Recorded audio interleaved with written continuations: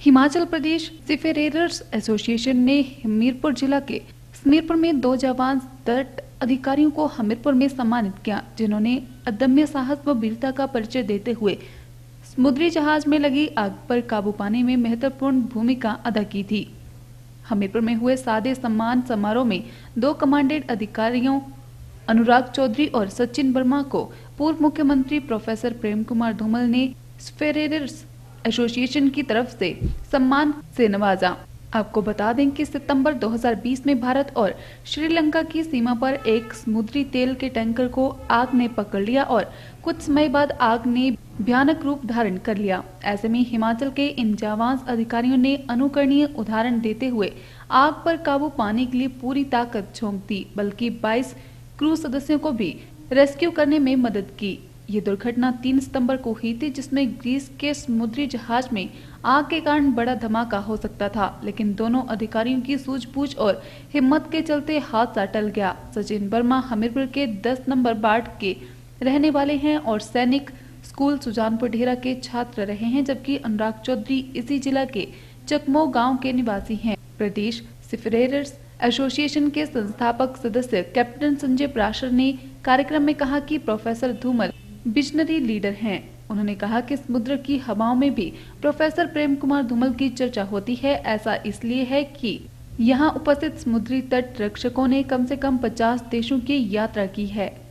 उन्होंने कहा कि प्रोफेसर धूमल के कार्यकाल में उच्च शिक्षा के कारण हमीरपुर व पूरे हिमाचल की तस्वीर बदल गई, जिसके दो तरह के फ़ायदे हुए। सबसे बड़ा लाभ ये हुआ कि उच्च शिक्षा के कारण हमीरपुर और कांगड़ा में मर्चेंट नेवी की भर्ती दुगनी हुई। प्रोफेसर धूमल ने हमेशा राजनीति में हमेशा सौहार्दपूर्ण माहौल बनाए रखा और उन्होंने सदैव हर आदमी को प्रोत्साहित किया। राष्ट्र ने अधिकारियों के जज्बे और हौसले को सलाम करते हुए कहा कि वे गर्व महसूस करते हैं क्योंकि ऐसे उदाहरण बहुत कम देखने को मिलते हैं।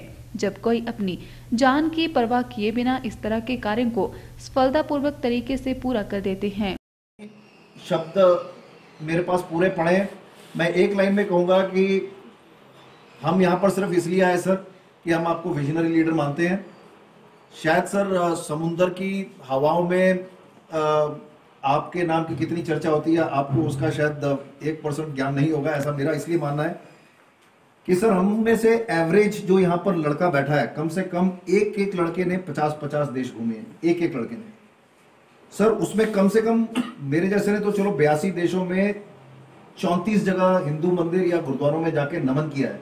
सर, हमने हिंदुस्तान की विरासत को, सनातन धर्म को ऐसी ऐसी जगहों में देखा है, सर। मतलब हमने साईं बाबा के भजन फिजी जाकर किए हुए हैं।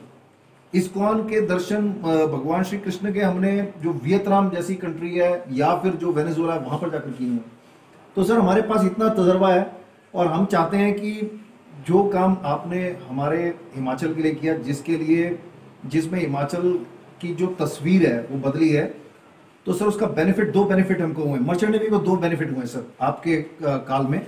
सबसे पहला बेनिफिट ये हुआ सर कि जो मर्चेंट नेवी में जो हमारी तादाद थी, वो आपके टाइम में एजुकेशन के कारण हमीरपुर और कांगड़ा साइड में मर्चेंट नेवी की जो ग्रोथ है, वो डबल हुई सर पिछले सात साल में हिमाचलियों की। तो सर इसके लिए हम आपका धन्यवाद करना चाहते सर। पहले।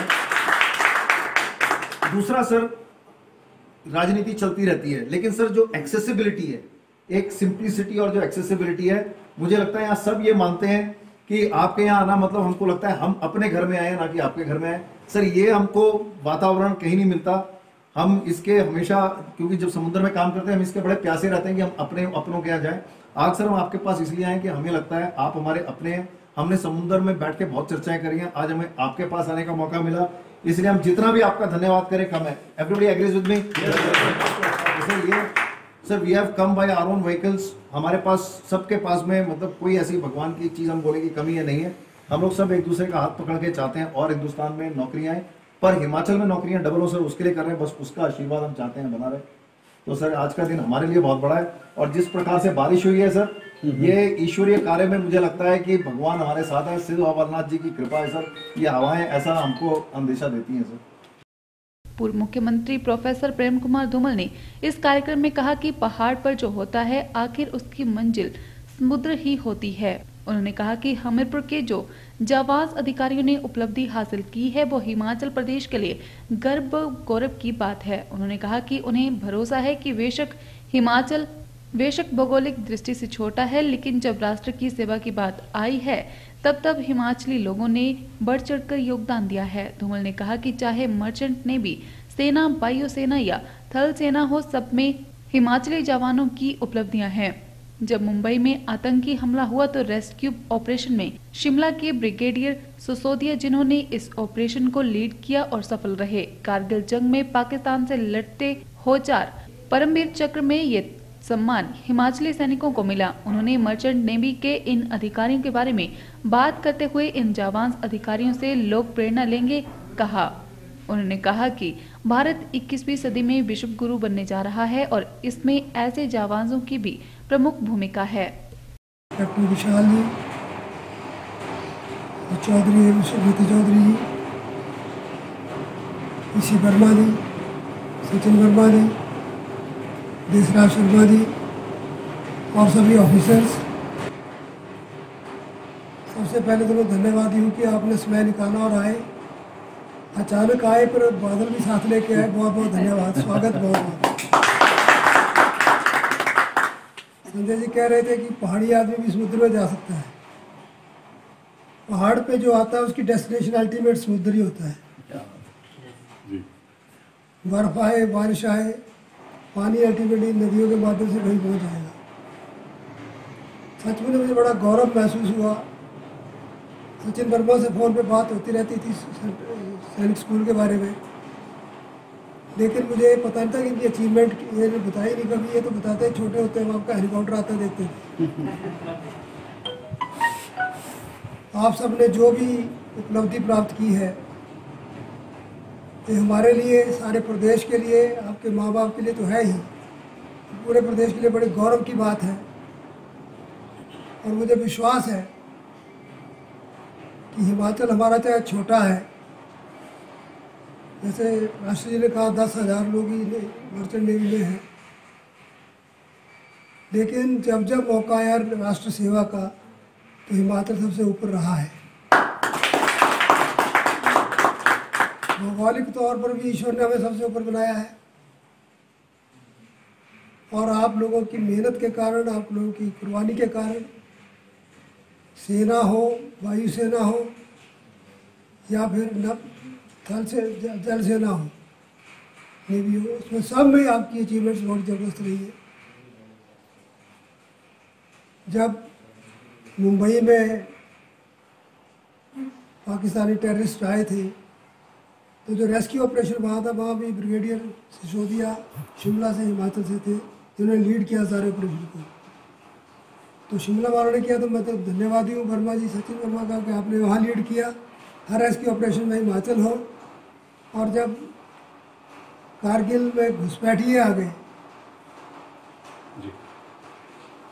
उसमें जो लड़ाई हुई पाकिस्तान के साथ निर्णायक हुई जिसमें पहली बार विक्ट्री के लिए कट थी। उसमें भी चार परमवीर चक्र देश में मिले थे।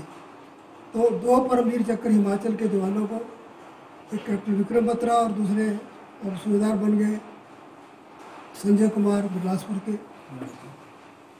तो बहुत बड़ी उपलब्धि है, चार में से दो हिमाचल के लोगों को मिले।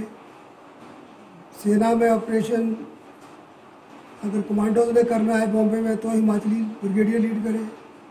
और अगर श्रीलंका के किनारे पर जाकर समुद्री, समुद्र में जहाज़ को बचाना है और उनको श्रीलंका को बचाना है और पोल्यूशन भी ना हो तो ये भी उपलब्धि जो है हमारे सचिन वर्मा जी के नेतृत्व में हो। चौधरी साहब उसको गाइड करें। बहुत अच्छी बात है। आप सबको बहुत बहुत बधाई भी, धन्यवाद भी। मुझे विश्वास है कि आपसे प्रेरणा लेकर हम तो अब ज़िक्र करेंगे ही सब जगह। लेकिन आपसे प्रेरणा लेकर नौजवान और प्रेरित होंगे और जो नेवी में हमारा कम कंट्रीब्यूशन है उसमें ज़्यादा होंगे, ज़्यादातर सेना में ही लोग होते हैं। लेकिन अब इस तरफ़ नया एक ऑप्शन होगी। और मर्चेंट नेवी में तो बहुत ज़्यादा स्कोप भी है। लोग पैसा भी ठीक कमाते हैं, देश सेवा भी करते हैं। और समुद्री रास्ता, पानी का रास्ता समुद्र में तो था ही था। आदिकाल से जब भी किसी दूसरे देश पे पहुँचे हैं तो पहले हवाई जहाज़ से नहीं गए। वास्को डगामा भी आया तो वो समुद्री जहाज़ से आया था।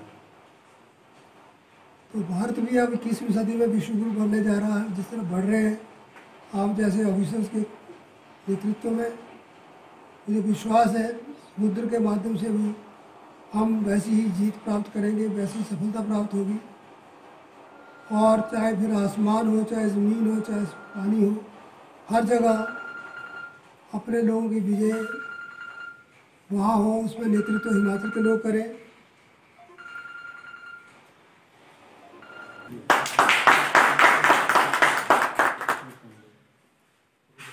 तो से कमर साहब होते थे। आसमान में भी अब बढ़ रहा है हिमाचल। एक बार फिर से आपका धन्यवाद और तिरंगा आपने लाए, आप लेके आए तो सबसे बड़ा सम्मान किसी को अगर दिया जा सकता है तो तिरंगा ही होता है। वो आपके माध्यम से मिला, देश के रक्षकों के माध्यम से मिला। इसके लिए आपको बहुत बहुत धन्यवाद। जय हिंद जय हिंद